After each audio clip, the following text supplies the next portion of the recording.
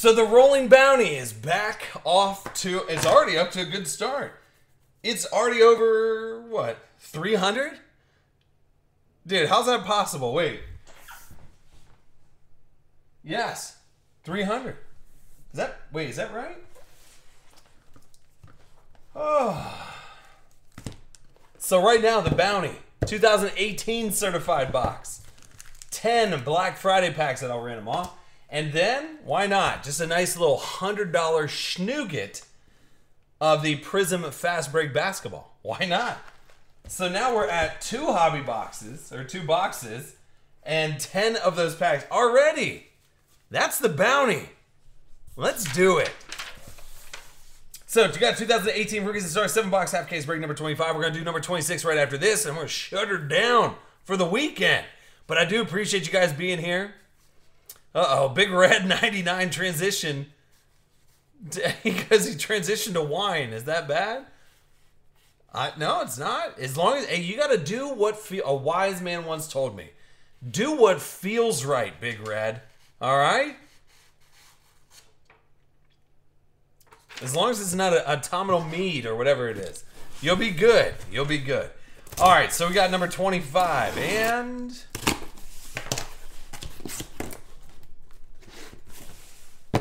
Oh boy. Let's do it. We got the 7 on top. You pull any Tatum's from that tree out in the back? the, hey, the way that my office is stacked up, there could be a Tatum in there. There could be. I'm just saying. Now, dude, the bounty, the rolling bounty is getting big again. Here's Blake Bortles, aka Cody Kessler, out of 10.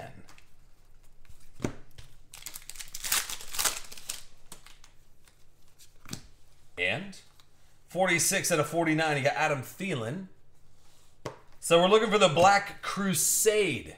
Now we just hit one yesterday, 31 out of 85. Nice little Saquon going over to Iceman. And a Peyton Manning patch. Now it's over to Denver. Woody, 311. There you go, buddy. That's out of 25. And the Gronk out of 99. He goes, I can't get it. Yeah, all right. Well, that makes sense. Here's that 75, Shaquem Griffin.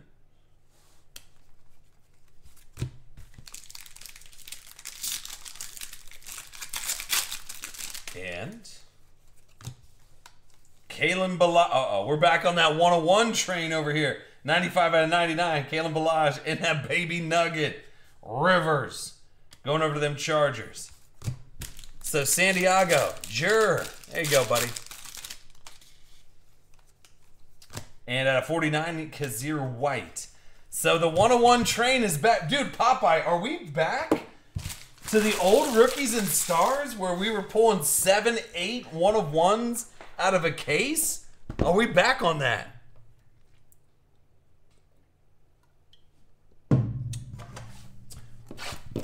What? Oh, black, yeah, black Saquon 101, Crusade, sure.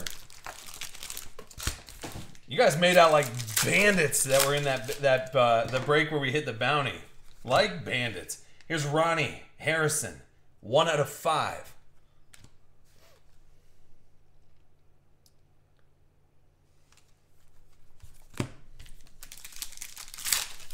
George Bush passed away today? Is that a real thing? Ooh, give me some of that gold. Out of 10, Roquan Smith.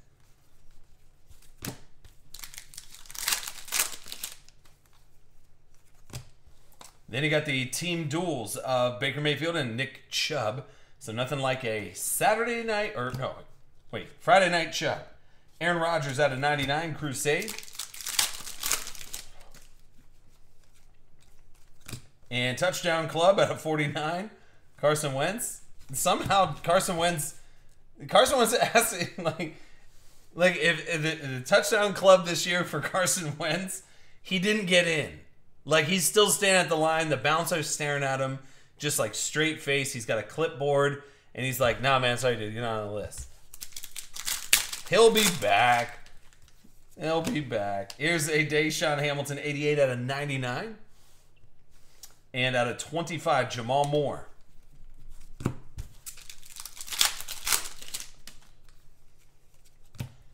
Then you got a John. Oh, I see some gold back here. John Elway over to them Brunt shows again, which would be out of 99.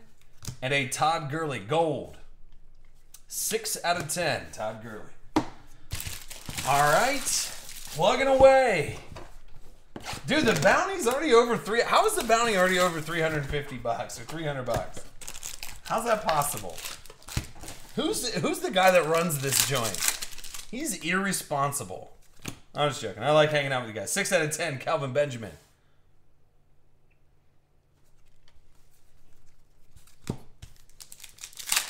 Go blue with the stat of the day right there. Uh oh, another Roquan. Roquan Super Collector. Yeti 815. Got a whole boatload, a gaggle of uh, Roquan Smiths. Uh, JJ Watt, and that's over to the Texans at a 49. And then, you have to pardon me that I won't say the name. There's Zeke, and Zeke and the Cowboys are they back? Go Blue with the stat of the day saying the Eagles have only scored over 23 points once this year. Not a good stat for the Eagles. One out of 99, Jamal Moore. And then at a 49, Anthony Miller.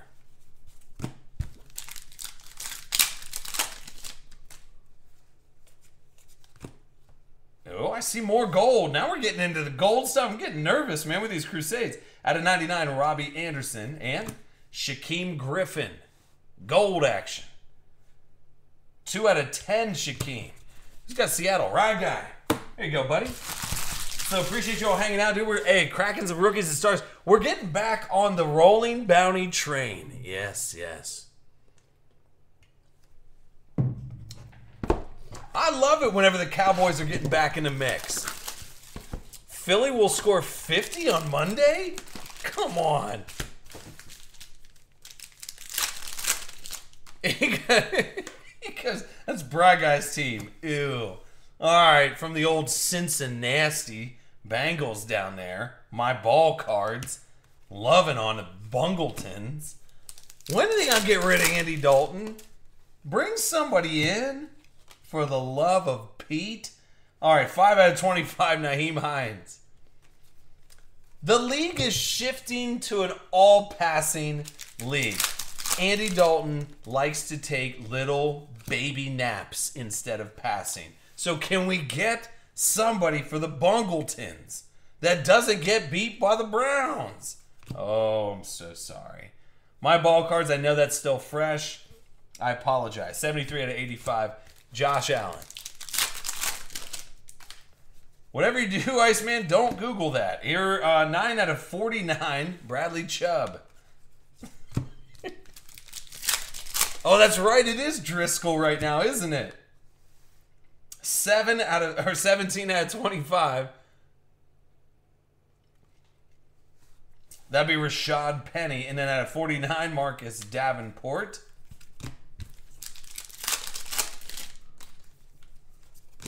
I told you I apologized immediately, my ball cards. All right, so Josh Allen going over to Buffalo, and there's ODB out of 99. I know, I know. TCU, go easy on Andy Dalton. go,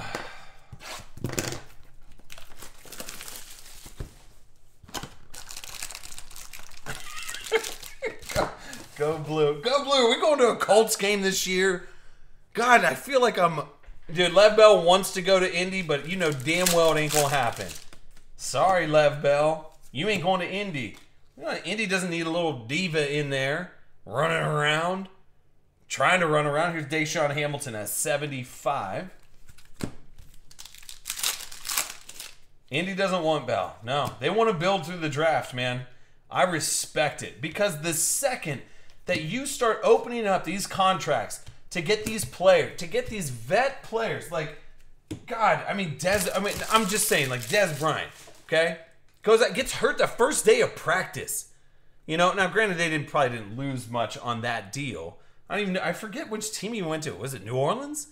Whatever. But I'm just saying, don't chase those big vet players, those huge vet contracts. People looking to maximize their money because number one, their drive goes down whenever they get paid.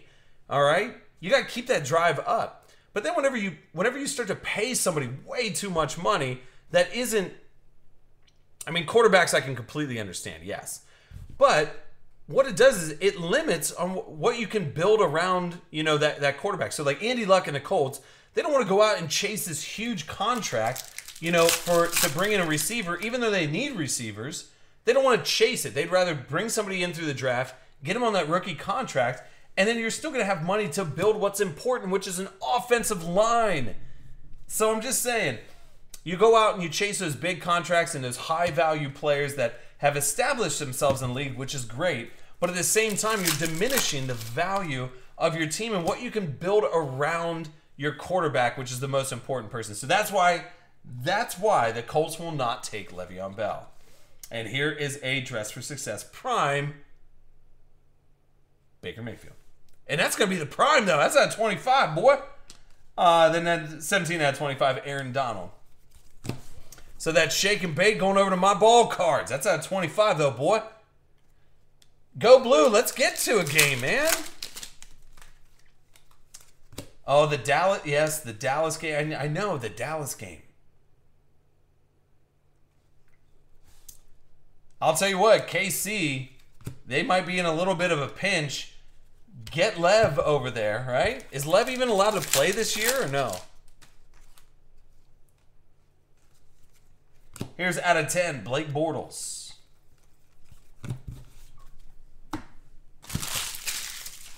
Let's get Pop. All right, let's get Popeye. Let's get Go Blue. We'll get the crew back together. Maybe JL for I don't know where JL Friend's at. If JL Friend can make it out to the game, let's get let's get out to the Dallas game. I got a guy that knows a guy that might know a guy that might have some tickets for the game. Meaning my brother. So one out of ten, Andy Luck. He's got a couple seats. Yes, email me. Yes, please do. I'd love to come out for that Dallas game. Absolutely. 23 to 25, a Tre'Quan Smith. Yeah, Lev can't play this year. I mean, was it that important? Now, I and so you guys give me your take on this. Do you think that Lev Bell made that big of a statement this year that it was worth losing what, like eight million dollars? Eight million, like that's life changing money for like a village, like not even a village, multiple village, like a a ton of people. All right. So, do you think he made as big of an impact this year?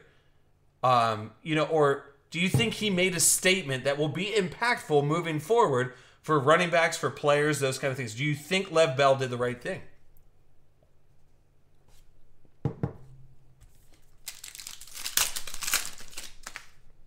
Go Blues got four. Hey now. Go Blues got four ticks. I don't think Lev Bell made an impact this year. I really don't. I don't think he made an impact on it. 85. I don't think social. I mean, obviously NFL Network, those nerds over there, NFL Network, uh, picked up and did the Lev Bell countdown until he does nothing. And then they did the aftermath of Lev Bell and all kinds of dumb stuff. Here's a really nice Calvin Ridley, 1 out of 25, going to Atlanta. Who's got Atlanta? Go Blue, 78.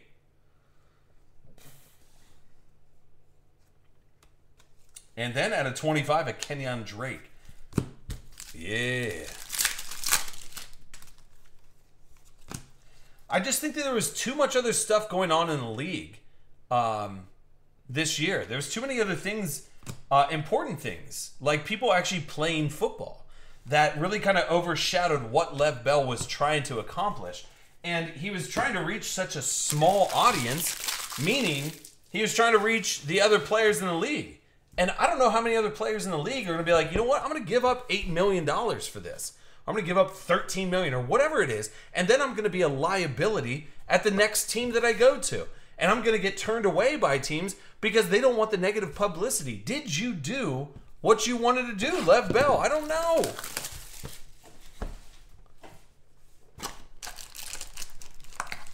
I don't. I just. Yeah. I don't. I just don't know if I agree with it. Now, and and that's me. That's an outsider looking in. So I don't know all the ins and outs about that stuff. But yeah, out of 49, I'll tell you what. Are people buying Lev Bell jerseys? No, they're buying James Conner jerseys. Are they? buy- You know, I mean, if somebody had the option, Steelers fan had the option this year. Did they buy a Lev Bell jersey? No, they didn't. Here's a Hayden Hurst at a 75. They bought James Conner.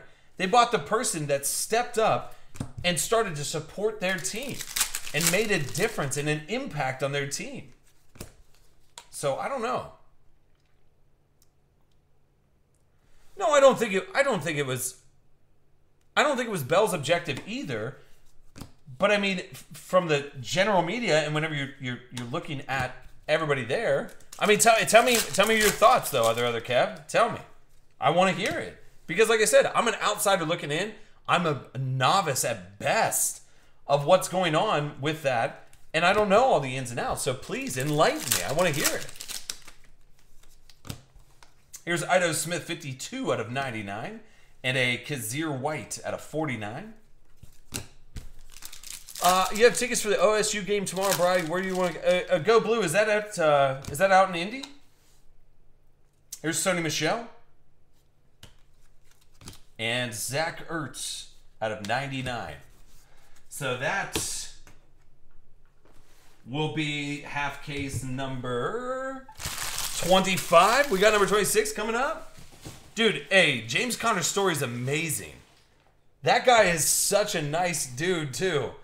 I think we sat down with James. I need to go back and look at all the videos. I feel like sometimes I may even take it for granted of all the people that we get to sit down with.